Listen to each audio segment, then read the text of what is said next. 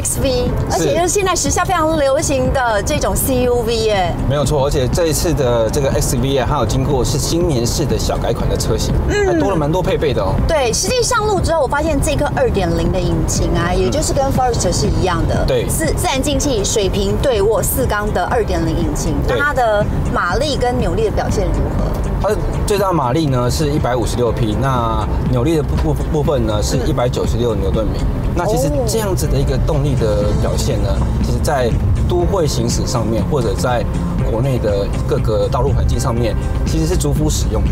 而且它搭配在这样的车格啊，嗯我觉得很 match 哎、二点零的这个引擎搭配在这个算是 CUV 级距里面的这一台啊，真的很棒。对因为尤其是你在起步，我刚刚起步的时候，我觉得它非常的就是动力很丰沛。嗯你一起步轻轻一踩，其实它的动力就出来了，加上它的变速箱的搭配还蛮合宜的哈，它就是 CVT 模拟七速嘛。对，没有错，搭配上那个 CVT 变速箱，我觉得整个行驶起来也是非常的畅快、轻快的。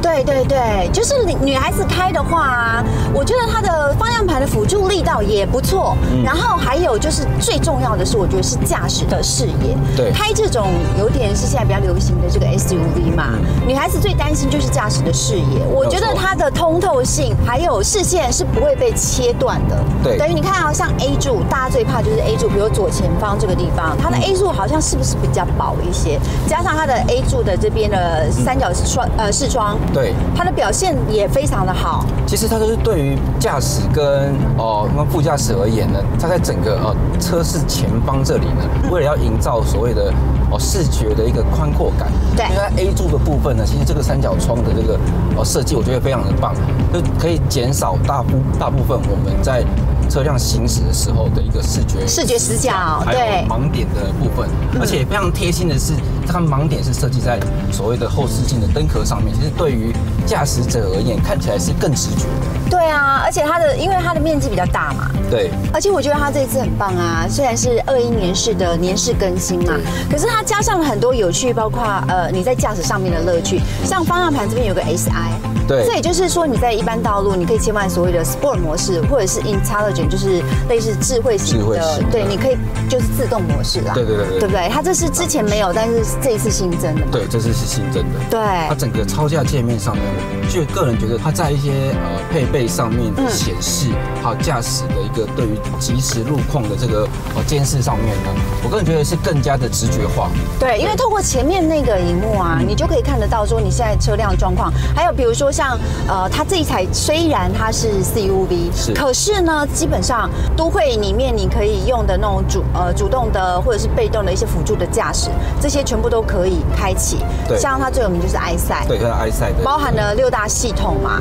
那我现在把它开启的话，哦，你看我先把它车道稍微偏离一点对，它会哦车跟你说，在仪表板上面就显示说，哎，你车道已经有偏离了，对。然后发发出警示声，车道偏离的警示，然后或者是我在车道里面有点类似 S 型，就可能我犯困了，嗯。好，在里面 S 型的话呢，它还会在做这个车道偏摆的警示，对对好是在时速六十公里以上，它就会做启动了。嗯那刚才偏离的话是五十公里以上，但是它配的这个它也有 ACC 对不对？对，它有 ACC，然后 A B 也有。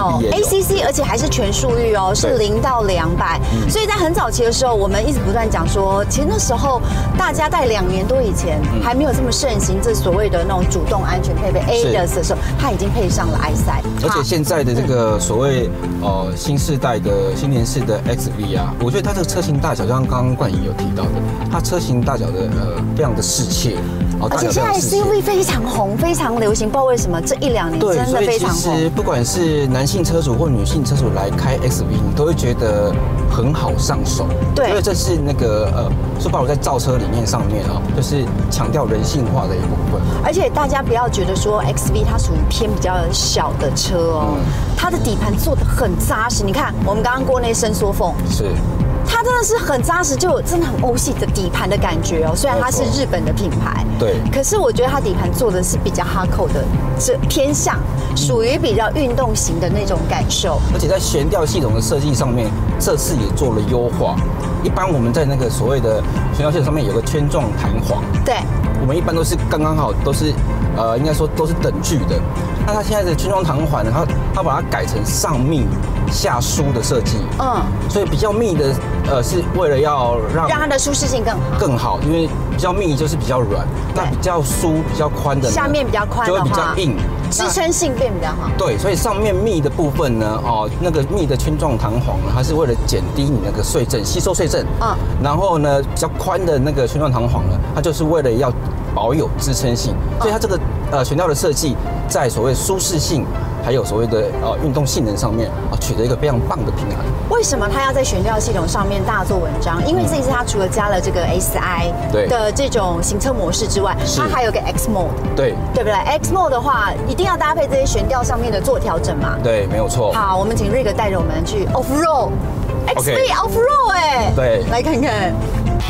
好，冠仪，那我们现在准备要来挑战 off road 场地了，瑞克，你确定？没问题的。这水牛是是坑呢，不是一般那种轻微的越野的感受哎。今天假如说是开着一般的车，我不敢讲。可是今天你开了 Subaru 的车哦，因为它有所谓的哦对称式的全时四轮驱动这个系统，所以在各个路面上面呢，你都可以如履平地。哦，然后再加上它的 X Mode，这次也新增在 XV 的车型上面是没有错的。那它的 X Mode 啊，其实你现在是开到什么样的模式？你跟大家讲一下，你现在是我现在开的它有 X Mode 的，基本上就是在我们的排挡座的下方这边，可以开一个 Snow 跟 Dirt 模式，就是呃雪地还有沙地模式。嗯假设你今天趴上，像我们现在在前面是所谓比较泥泞的路面的话，你还可以开到一个 Deep Snow，就是所谓的积雪还有泥泞的模式。较为深度一点点的越野，对，因为它可以。容许你轮胎适度的进行打滑，因为它它容许你轮胎适度打滑，其实是为了让你的轮胎进行脱困的动作。表示呢，哦如果我们用在 Deep 的话，是等于循迹防滑它会关掉。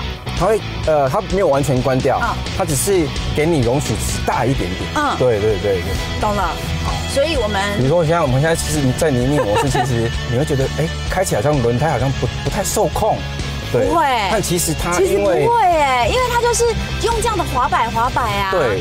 我我一般如果你是前驱啦，或者是说没有这种所谓的这种越野模式的话，千万不要不要拿自己家的车子开玩笑。对，因为它是所谓的全时的一个四轮驱动的一个模式，对所以它其实，在你开车的时候，它就一直在针对你的四个轮子的一个扭力输出的一个状况有没有打滑，嗯嗯，然后进行所所谓智慧型的分配，所以可以让你在啊各个不同的路况之下呢，哎，都可以顺利的、安全的行驶。有，刚才我们看到仪表板上面那个对循迹也有也有一些，有时候也有闪一下，对也有闪一下但大部分对的时间它可能就会让寻机防滑的呃介入没有这么多。对，没有错。好。，这样不然的话，像这种路面，呃，你确定？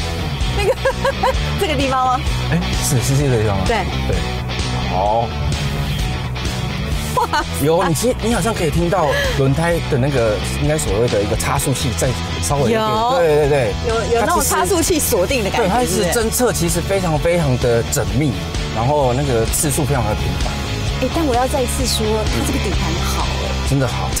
我们现在这 都没有个叽叽呱呱的声音，再加上你不是说它这一次的这个它呃它的那个悬吊也有做一些设定嘛，对对对对不？对？所以在这里面，它真的会对应各种路面啊、底盘啦、悬吊系统，甚至于哦，我有听到，它好像是在讲刹车，是不是？对对对对，因为它也有一个陡坡缓降的陡坡。缓降系统，对。那我们现在稍微有点啊，等一下稍微要经过这个陡坡缓降你看，看，它有它有启动了，对对，那个绿绿的，绿绿的，对。嗯，绿绿那个灯，假设说像我们现在这样，哎哎，，看不到前面，看到前面对，其实它还有一个非常非常棒的哦，新年是还有一个非常棒的一个设计，是一个前镜头的设计。嗯你在方向盘的右手边这边，你可以按一个 view，你就可以看到你前面的路到底是怎么样。有，哎，然后那是一颗石头吗？对，当然我们的高度是够的，呃，所以虽然是虽然说我们 XV 是 crossover 的车型，它比一般轿车还要高哦。对，所以你可以在这样的一个行驶状况之下，你也可以感受到那种呃修旅车的那种驾驶度。所以它多元对应地面的能力是比还蛮。其实我现在是没有踩刹车的哦。对啊，你看瑞克的它会限制我，就是限制一个时速，然后让你安全的往下坡。有，我们有听到他在夹刹车。对，它有脚踏车，对对对对哎，现在是好安全，没有想到 XV 它突破地形的能力这么强哎。不然这边就算你来开这种路路线的话，你也能够非常得心应我。相信，我我我想要给他开到更艰困的地方，没有啦，还是不要了。对对对对可是他这样子好厉害哦真的哦很，厉害，啊，小越野霸王啦，可以这样讲哈。是没有错。